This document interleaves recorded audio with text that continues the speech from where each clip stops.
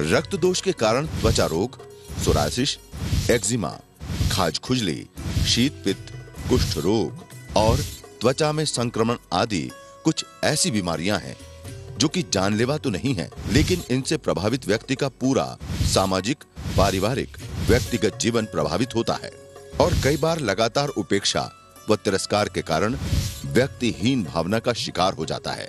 वैसे तो ये सभी त्वचा रोग से ही संबंधित बीमारियाँ हैं। लेकिन हर रोग के कारण भिन्न हैं। इनमें कुछ रोग वंशानुगत होते हैं।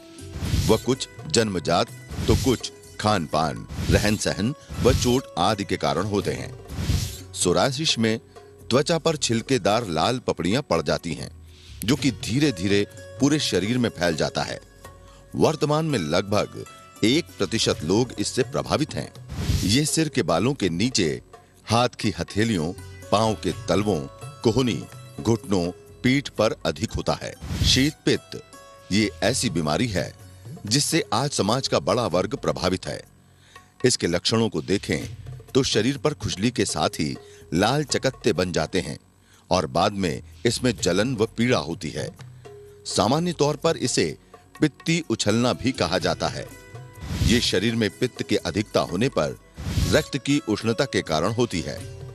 खाने में मिर्च मसाले, घी तेल से बने खाद्य के सेवन फास्ट फ़ूड व चाइनीज़ फ़ूड के सेवन से अधिक होती है। बार बार शीत पित्त होने पर बुखार व उल्टी होने की शिकायत होती है।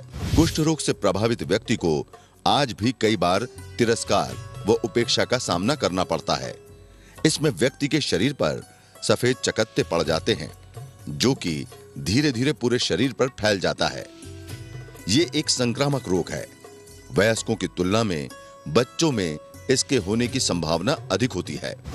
इसके कारणों पर गौर करें तो वंशानुगत रूप से इसके होने की संभावना प्रबल होती है। वहीं अस्वच्छता, वातावरण और खान-पान भी बड़ा कारण है। वर्तमान की इन्हीं परेशानियों को देखते हुए आज के अंक में आचार्य बालकृष्ण जी महाराज आपको ऐसे अनेकों आयुर्वेदिक जड़ी बूटियों एवं घरेलू उपायों के बारे में बताएँगे। जिससे त्वचा रोग सोरासिस एक्जिमा, खाज खुजली, शीत पित्त, कुष्ठ रोग और त्वचा में संक्रमण आदि रोगों से मुक्ति पाई जा सकती है। जड़ी बूटी के जानकारी के संदर्भ में अब हम चर्चा करने जा रहे हैं एक और औषधीय पौधे का। यह पेड़ है, जिसको हम बोलते हैं मेहंदी।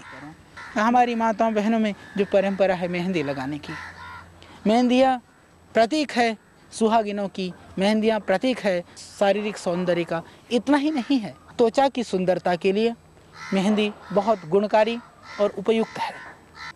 स्किन प्रॉब्लम में त्वचा की जितनी भी बीमारियाँ हैं, यदि इसके पत्तों को पीस करके, मेहंदी के पत्ते और थोड़े से नीम के पत्ते, इसको मिलाइए, इसको पीसिए, पीस करके पेस्ट बना करके यदि आप उस जगह पर लेप लगाते हैं तो इससे आपको सोराइसिस हो, एक्जिमा हो, चाहे किसी भी तरह की स्किन प्रॉब्लम हो, उसमें इससे बहुत लाभ मिलता है।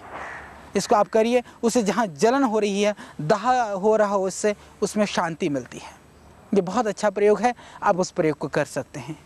इसके अतिरिक्त जो इसके जो पत्ते हैं इसको पानी में उबाल करके, तीन चार ग्राम पत्तों को पानी में उबाल करके यदि उस पत्तों से आप इसको धोते हैं, अपनी स्किन को तो तब भी इससे स्किन अच्छी हो जाती है, उसकी जो बीमारी है, उसकी जो परेशानी है, उसको आप इससे दूर कर सकते हैं। यह आज आपके लिए सिर्फ़ एक सब्ज़ी नहीं है, यह सिर्फ़ भोजन का अंग नहीं है। अपितु तो आज के बाद यह आपके लिए एक औषधीय पौधा बन जाएगा। इस पौधे का प्यारा सा नाम है करेला। हम इसके कुछ औषधीय गुणों के विषय में चर्चा करेंगे। यह बहुत ही दिव्य गुणों से परिपूर्ण पौधा है। तो आइए हम इसके कुछ गुणों को जानते हैं। ये करेला सिर्फ़ फल ही नहीं, इसकी पत्तियाँ, इसकी जो पुष्प हैं, फूल हैं, ये संपूर्ण करेला आपके लिए अत्यंत गुणकारी है। जिन लोगों को किसी भी तरह से चर्म रोग है। चर्म रोगों में क्योंकि यह अत्यंत रक्त शोधक है, या तो करेले का रस या आप सिर्फ़ करेले के पत्तों का रस दो तीन चम्मच यदि आप नियमित रूप से सेवन करते हैं तो चर्म रोग के लिए यह अत्यंत लाभकारी है। एक्जिमा है, सीरोसिस है और आपके लीवर की प्रॉब्लम के लिए भी यह करेला आपकी लीवर की जो परेशानी है या जॉन्डिस है, S G O T, S C P T अब नॉर्मल है आपके लीवर फ़ंक्शन ठीक नहीं है, उस स्थिति में भी यह बहुत ही गुणकारी है। बहुत ही अच्छा यह प्रयोग है। यह एक दिव्य औषधि है। निश्चित रूप से करेला करेला सिर्फ़ एक सब्ज़ी मात्र नहीं है। करेला कड़वा नहीं है। अब आप समझ गए होंगे, करेला मीठा है। हमारे जीवन के मिठास को ये भरने वाला है। जिनको खाज खुजली, दाद है उन लोगों को इन करेले की पत्तियाँ और थोड़े नीम की पत्तियाँ को पीस करके यदि आप उस रस से धीरे धीरे मालिश करते हैं तो मालिश करने मात्र से भी आपकी जो खुजली है, जो चर्म रोग है, इस तरह की जो बीमारियाँ हैं, वह ठीक हो जाती हैं। तो आइए हम जीवन के अंदर, चाहे वह देखने में देखो, कांटेदार है और खाने में कड़वा है, पर गुणों में एकदम कुसुम से भी एक पुष्प से भी गुणकारी है यह यह अत्यंत लाभकारी है यह। तो आइए हम इस करेले के सेवन को औषधि के रूप में करते हुए अपने जीवन को निरामय करें, एक आनंदमय करें और देश के अंदर जो बढ़ती हुई व्याधियाँ हैं, बीमारियाँ हैं, अब हम इन व्याधियों और बीमारियों को ठीक करने के लिए दवाइयों की नहीं, हम इन जड़ी बूटियों को औषधि के रूप में, इन साग सब्जियों को हम औषधि के रूप में सेवन करके हम बीमारी से मुक्त होंगे और पूरे देश को रोग मुक्त करने में, इस महाअभियान में, इस युद्ध में हम स्वयं योद्धा बन करके, इस जड़ी बूटी की परंपरा में हम आपके साथ और बहुत सारी जानकारियों को लेकर के आपके बीच में हैं। यह सदाबहार, जिसके बीच में मैं बैठा हूँ, यह एक अत्यंत आम प्रचलित और प्रत्येक व्यक्ति भारतवर्ष का वासी इस पौधा को जानता है। तो आइए, आज हम ये सदाबहार, सदा फूल के जो पौधा है, उसके कुछ औषधीय गुणों के संदर्भ में हम जानें। जिनको स्किन प्रॉब्लम है, जिनको किसी भी तरह से फोड़ा फुंसी गुमड़ी होते हैं, उन सब में भी आप इसका प्रयोग कर सकते हैं। दो तीन पत्ते भी यदि आप डेली उसको यदि आपको चबा करके खाने में प्रॉब्लम होती है तो इसको आप यूँ मसल करके और इसको गोली टाइप बना करके या सूखा करके इसको पीस करके भी आप इसको सटक जाएँ। क्योंकि ये बकबका होता है, इससे थोड़ी सी उल्टी सी होने की संभावना सी लगती है, परंतु ये धीरे से आप निगल जाए तो इससे आपकी रक्त की शुद्धि होगी। जितने भी रक्तगत जो विकार हैं, जो इस तरह की व्याधियाँ हैं, उसमें इससे पूरा आपको लाभ मिलेगा। बहुत ही गुणकारी औषधि है। इसके अतिरिक्त इसकी जो जड़ें हैं, आप देख रहे हो, इसकी जो ये मुलायम मुलायम जो जड़ें होती हैं, इस पौधे की, ये बहुत ही गुणकारी है। इस घोर घने जंगल में हम आए हैं आपके लिए। औषधियों के जड़ी बूटियों के, बेहद विशद जानकारियों को एकत्रित करके उस जानकारी को हम चाहते हैं आप तक पहुंचाना। आइए, आज हम परिचित होते हैं एक और इस विशाल काय वृक्ष से। इसको बोलते हैं गंभारी। हमने बहुत बार इसका बहुत सारे प्रयोग किए हैं। आज हम कुछ प्रयोग आपको बताने जा रहे हैं। जिनको आर्टोकेरिया, रक्तपित्त की शिकायत है सित पित्त की शिकायत है, जिनके दाफड़ पड़ जाते हैं शरीर में, उनके लिए भी यदि गंभारी का फल और मिश्री बराबर मात्रा में मिला करके पाउडर बना करके सेवन करते हैं प्रातः सायं तो उससे भरपूर लाभ मिलेगा और छुट्टी होगी आपको सित जैसी भयानक बीमारी से। आपके लिए ये पत्ते भी अत्यंत गुणकारी हैं और जिनको किसी भी तरह से झाइयाँ हैं, किल मुहासे है, या स्किन संबंधी परेशानी है, उसमें भी यदि आप इस गंभारी छाल में, नीम की छाल मिला करके उबाल करके पीते हैं, जैसे आप पाँच ग्राम गंभारी वृक्ष के छाल को ले लें और पाँच ग्राम नीम के पेड़ की छाल को ले लें, दोनों छालों को मिला करके 200 ग्राम पानी में उबालें, उबाल करके जब रह जाए, एक चौथाई छान करके आप पिए। जब आप छान करके पिएँगे तो इससे आपको, आपके रक्त संबंधी विकारों को पूरा लाभ मिलेगा और इससे पेट भी साफ़ होगा। यह रुद्रवंती हिमालय की एक बहुत ही दिव्य और दुर्लभ औषधि है। तो आइए इसके जो कुछ अनुभूत प्रयोग, रुद्रवंती, क्योंकि बहुत ही दुर्लभ पौधा है तो मैंने यह भी देखा है कि इसको सिंगल औषधि के रूप में एकल औषधि के रूप में हम यदि रुद्रवंती का प्रयोग न करके अपितु तो दूसरे वनौषधियों के साथ में इसका प्रयोग करते हैं तो भी बहुत ही लाभकारी है। जिन रोगियों को किसी भी तरह से स्किन प्रॉब्लम ठीक नहीं हो रही है, वो चाहे किसी भी तरह की सोराइसिस है एक्जिमा है एलर्जी है स्किन प्रॉब्लम है, उन सभी रोगियों के लिए भी यदि कायाकल्प को आपके साथ थोड़ी सी रुद्रवंती में दोनों को मिला करके काढ़ा बना करके पीते हैं तो उससे पूरा लाभ होगा। आपके स्किन प्रॉब्लम के लिए बहुत ही गुणकारी है, बहुत ही लाभकारी है। रुद्रवंती का काढ़ा अत्यंत रक्त शोधक है, जिनको बहुत ही ज़्यादा स्किन की प्रॉब्लम है एलर्जिक प्रॉब्लम है, उन सब के लिए रुद्रवंती का प्रयोग करते समय ये विधान किया गया कि नमक का सेवन न करें।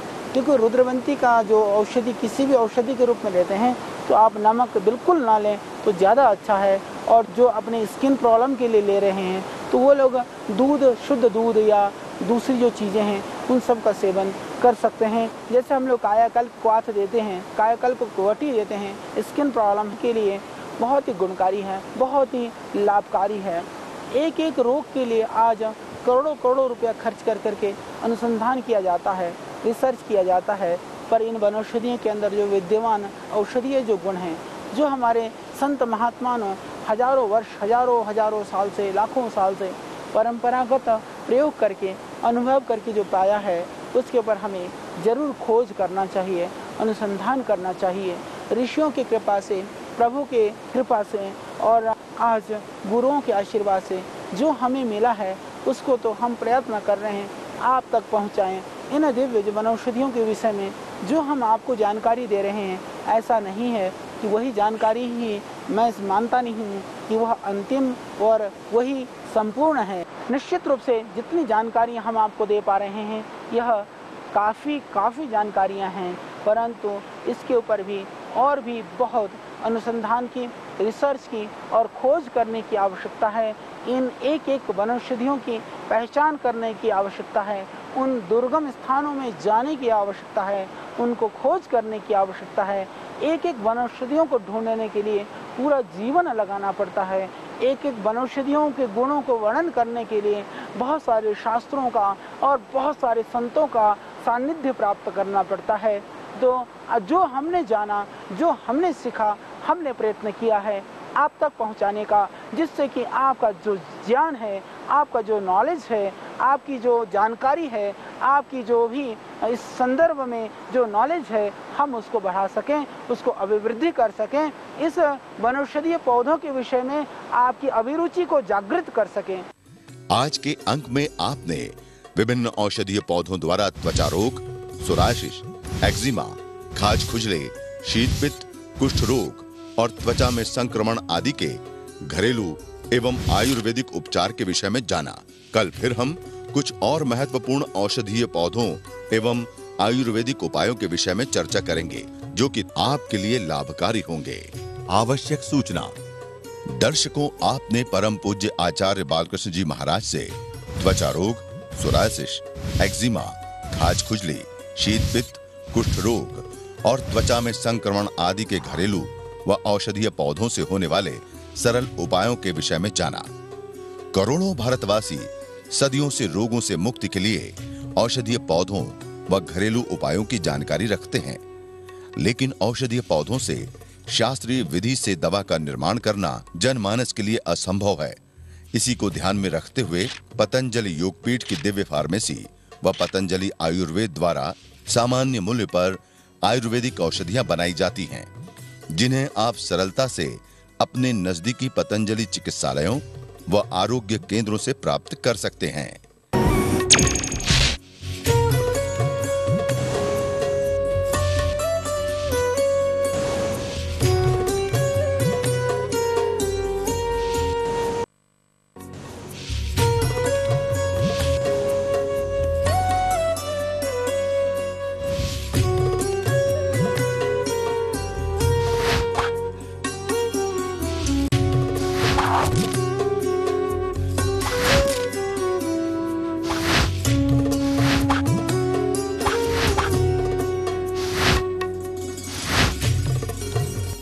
ध्यान रहे। किसी भी औषधि का प्रयोग बिना वैद्यकीय सलाह के न करें।